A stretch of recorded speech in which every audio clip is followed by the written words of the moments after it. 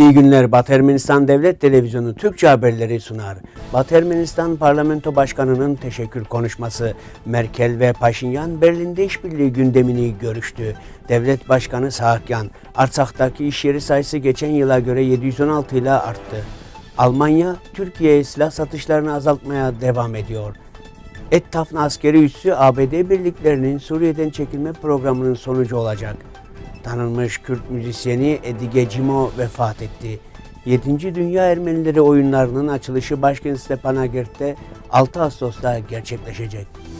Agvan Tonaganyan, Batı Ermenistan Cumhuriyeti Ulusal Meclisi Parlamento Başkanı, saygıdeğer başkan, Batı Ermenistan Cumhuriyeti Devlet Başkanlığı görevine yeniden seçilmeniz nedeniyle Batı Ermenistan Cumhuriyeti Ulusal Meclisi Parlamentosu ve şahsım adına sizi yürekten tebrik ederim.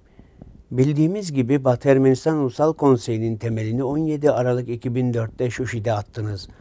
Bu ulusal konsey yıllar sonra Ermeni devletinin başarılı oluşumunun ve halkımızın asırlık hayallerinin bağımsızlık yolundaki yansımalarının kanıtı olarak Batı Ermenistan Cumhuriyeti'nin temelini oluşturdu. Ermeni halkının birleşik mücadelesinin başlangıcını birlikte gerçekleştirdiniz çok yönlü ilişkileri genişletme politikasıyla devletin uluslararası arenadaki itibarını yabancı ülkelerle işbirliği kurarak pekiştirdiniz. Birleşmiş Milletler Teşkilatı'nın yerli otokton halklar komisyonuna ulaştığınız haberini biz büyük bir mutlulukla algıladık. Bağımsız Batı Ermenistan'ın en önemli başarılarından biri Batı Ermenistan Cumhuriyeti ve sürgündeki Ermenilerin güvenliğini kayıtsız şartsız koruyacak ve her türlü beklenmedik saldırıyı bertaraf edecek olan güçlü bir ordunun oluşturulmasıdır. Ve bu başarıda bireysel olarak sizin katkınız tartışılmaz.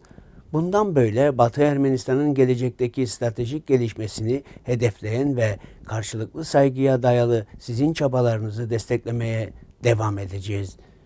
Batı Ermenistan Cumhuriyeti Ulusal Meclisi parlamentosunun milletvekilleri olarak Batı Ermenistan Cumhuriyeti ve Ermeni halkı adına size ödünsüz bir mücadele diliyoruz.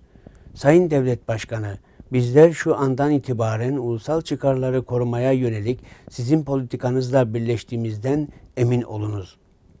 Size ve tüm Batı Ermenistan vatandaşlarına sistemin sürdürülebilir gelişmesi ve vatanımızın refahı için başarılar diliyorum. Derin saygılarımla Agvan Donakanyan, Batı Ermenistan Cumhuriyeti Ulusal Meclisi Parlamento Başkanı.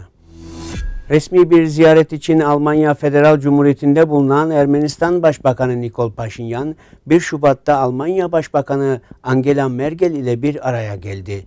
Federal Almanya Cumhuriyeti Başbakanı Angela Merkel, Ermenistan Başbakanı'nın Almanya'ya yaptığı resmi ziyaret nedeniyle kutladı ve Ermeni-Alman dostluğu işbirliğine yeni bir ivme kazandıracağı konusundaki güvenini dile getirdi.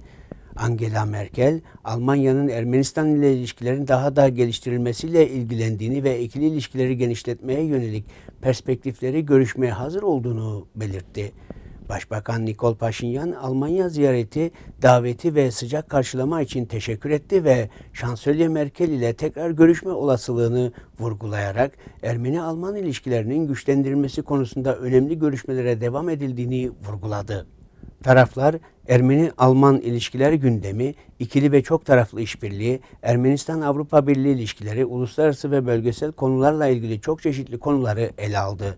Taraflar ayrıca Dağlık Karabağ arsa anlaşmazlığının çözümü konusunda görüş alışverişinde bulundu. Her iki tarafta müzakere sürecinin tek uluslararası yetkilendirme biçimi olarak Agitmis grubu eş başkanlığı çerçevesinde sürdürülmesinin öneminin altını çizdi. Artsakh Pres muhabirinin belirttiğine göre Artsakh Cumhuriyeti Devlet Başkanı Bako Saakyan 1 Şubat'ta hükümetin ilk oturumunda ülkede rekabetçi bir iş ortamı yaratmanın ülkenin ekonomik politikasının kilit hedeflerinden biri olduğunu vurguladı.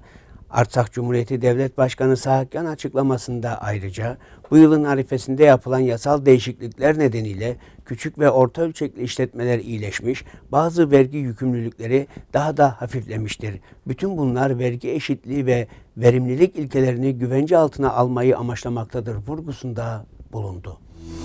Alman Maliye Bakanlığı Federal Meclis'in Sol Parti Meclis Grubu tarafından yapılan yazılı bir soruşturmaya cevaben yaptığı açıklamada Almanya, Türkiye silah satarken Suriye'de faaliyet gösteren silahlı Kürt militanlara karşı kullanma tehlikesini de dikkate almaktadır, dedi. Bakanlıktan yapılan açıklamada hükümetin Türkiye'den Alman silah şirketleri için başvuruları ayrıntılı olarak incelediği vurgulandı. Buna ek olarak 15 Temmuz 2016'da Türkiye'deki askeri darbe girişimi ve sonrasında yaşanan iç siyasi gerilimlerin bir sonucu olarak Almanya, Türkiye'ye silah satmak için daha önce açıklığa kavuşturulmuş koşulları sertleştirdi.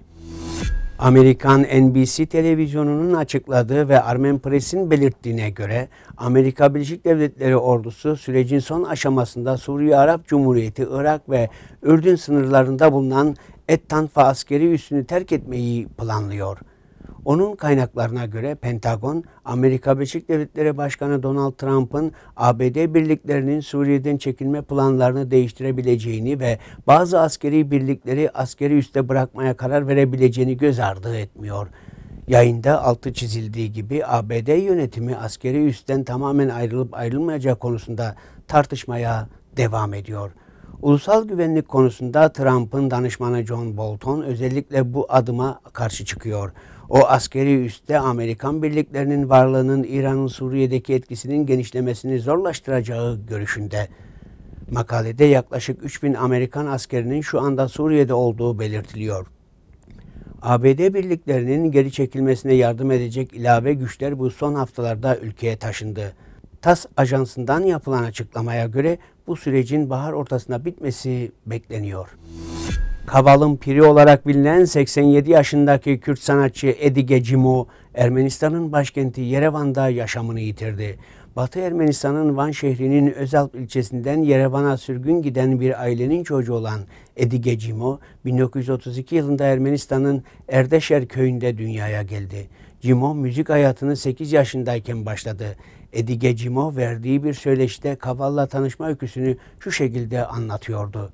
Köyümüzün çevresinde düğünler yapılıyordu. Bu müzik çok hoşuma gidiyordu. Köyümüzün kenarında bulunan Çemereş'te kamışlar vardı. Ben bir kamış koparıp bağladım. Üzerlerinde delikler açtım. Üfledim ve ses çıktı.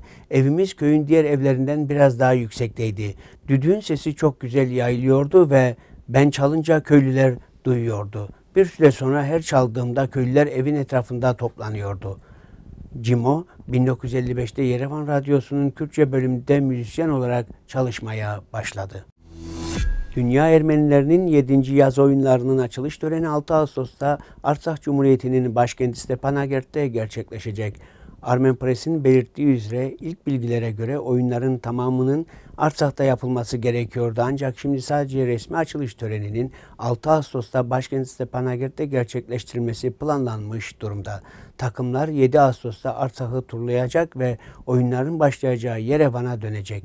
Oyunların resmi kapanış töreni 17 Ağustos'ta gerçekleşecek. Diğer takımlara ek olarak Batı Ermenistan ekibi de Dünya Ermeni oyunlarında yer alacak. Bugün için bu kadarını öngördük.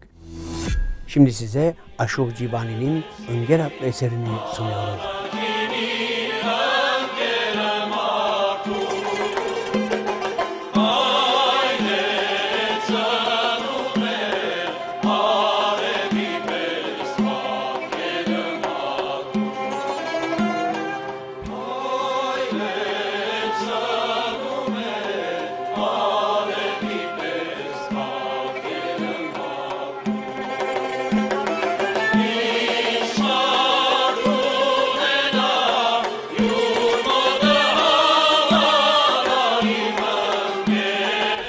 Tamamını Batı Ermenistan Devlet Televizyonu'nun resmi sitesinden izleyebilirsiniz.